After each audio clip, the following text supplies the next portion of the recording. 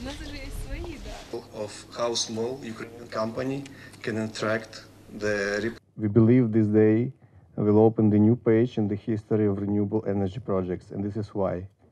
Today, we officially launch the Solar Chernobyl power plant, the very first and very on- only industrial solar power plant located at the site of Chernobyl nuclear power plant. Perhaps, perhaps the only solar power plant globally ever been connected to nuclear power plant challenging and breakthrough project, and this is the green energy project.